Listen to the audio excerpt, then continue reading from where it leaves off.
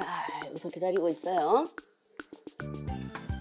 아, 저쪽 이제 운동방에로 이제 나온 거예요. 아 저거 대개 저런 게 집에 있으면 대개는 빨래거리로 다 사용이 그쵸. 되게 젊었을 때, 옷걸이. 젊었을 땐 네. 그랬는데 지금은 네.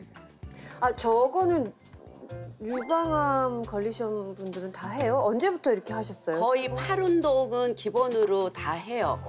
그래서 저 운동을 안 하게 되면은 유방암 걸린 지 10년이 되고 20년이 돼도 이거 팔 만세 못 하시는 분들 많아요. 아 어. 늘리기 위해서라도 네, 그렇죠. 하시는구나.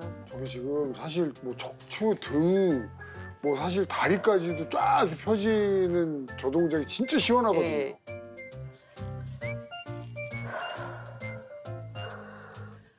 자, 이렇게 스트레칭을 하고 어, 림프절을 좀 두들겨서 마사지를 해줘야 돼요.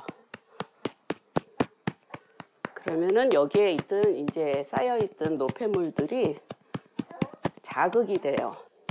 저걸 어쩌다 안 하면은 좀 이렇게 손 같은 손도 이렇게 이렇게 주먹쥐기가 좀 이렇게, 이렇게 뻑뻑해요.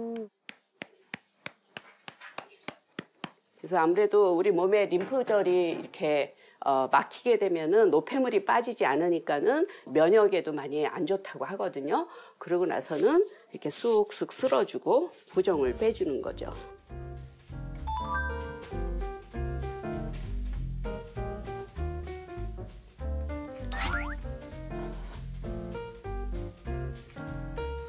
여기서는 한 2분 저렇게 철봉에 매달리는 게 사실 간단해 보이지만 네. 이게 면역력 강화에 굉장히 도움이 되는 오. 운동입니다. 사실 림프가 우리 몸의 독소와 노폐물을 걸러주는 아주 중요한 기관인데요.